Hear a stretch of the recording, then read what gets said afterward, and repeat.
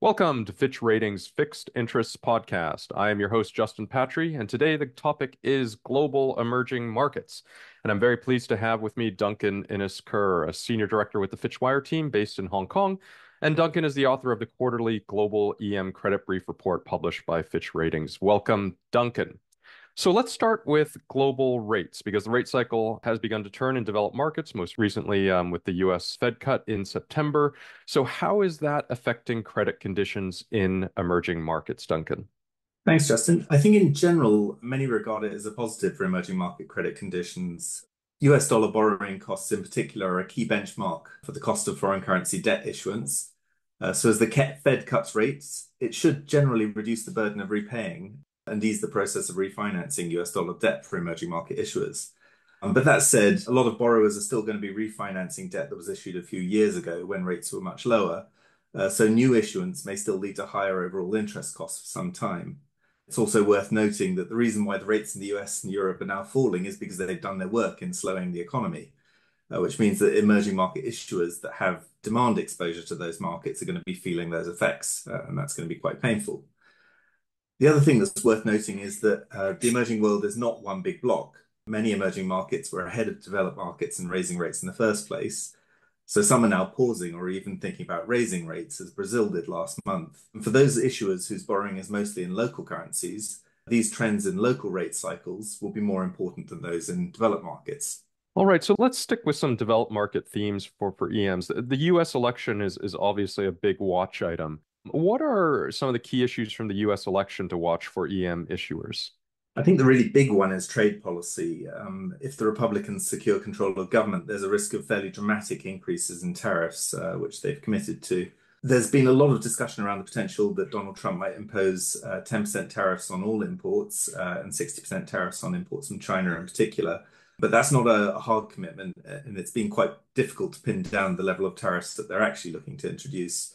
But certainly his first term does give grounds to think that the broad tariff actions are certainly possible. Chinese companies in particular are exposed to that.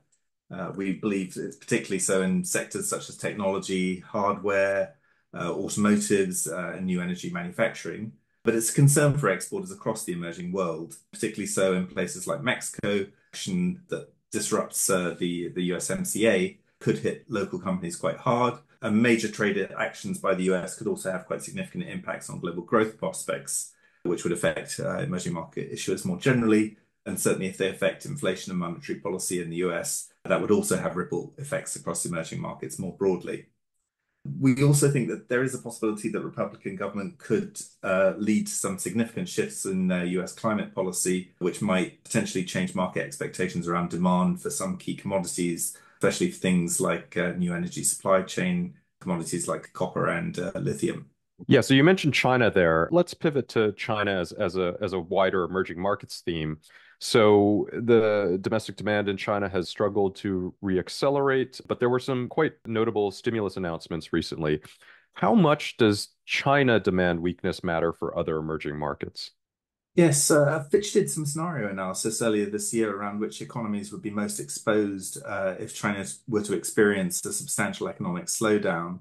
And I should say that we're not expecting to see anything like that scenario to pan out at this stage. Uh, but that research really highlighted that it's Asian economies and commodity exporters uh, globally that are particularly vulnerable to China's demand weakness.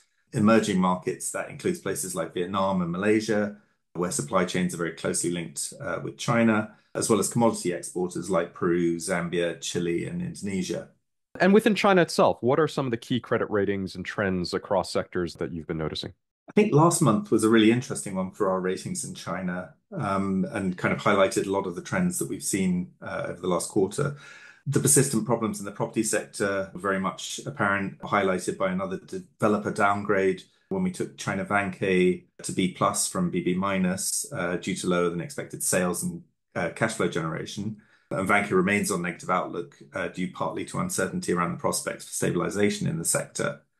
Um, but we also saw upgrades for consumer-oriented firms like Haidilao Lau and Meituan, uh, and that was based on our expectation for stable or improving profitability and measured CapEx. So there are definitely still some bright spots. But that all said, across our portfolio of China-based issuers, uh, negative outlooks outnumber positive outlooks uh, by a wide margin uh, as of late September, uh, as high as 128 uh, negative to 2 positive.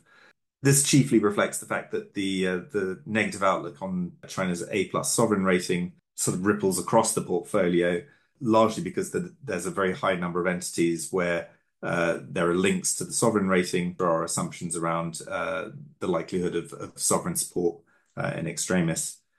Talking about the, the stimulus plan specifically, we're still waiting for some more detail about the fiscal element of that. We think that the fiscal element is going to be particularly important uh, in assessing what sort of impact that the package as a whole will have.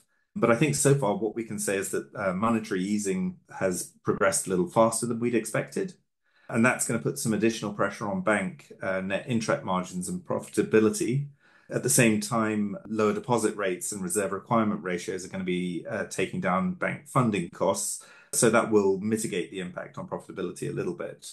And importantly, on the upside, we do think that the authorities' plans to enhance common equity uh, at the six state banks signal a commitment to keeping bank financial metrics stable partly to enable those banks to uh, play a, a, key role in supporting the economy.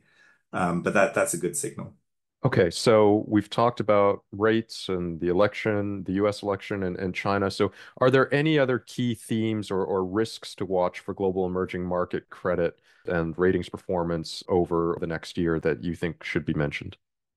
I think the obvious theme beyond the uh, the US election and the developed market rate cycle turning that we've not mentioned is geopolitical risk. We have major conflicts underway uh, in the Middle East. Uh, we've of course seen uh, that rippling across the oil markets in the last day or so, as well as in, in Ukraine and Russia at the moment. And there's there's several other hotspots in uh, like that in the South China Sea where the frequency of incidents is quite alarming. And so any one of these could escalate in ways that would affect issuers across the emerging market universe, uh, and, and mostly for the worse.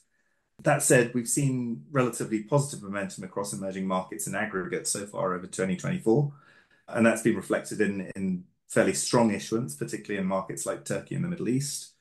And we do expect economic prospects across the emerging world to remain pretty supportive in the near term, particularly in the Middle East and Africa, where growth is uh, expected to accelerate in 2025. Well, thank you very much, Duncan. I hope everyone who's listening has enjoyed the latest fixed interest podcast for this week. As always, to learn more about Fitch's ratings and credit views, please visit our website at fitchratings.com.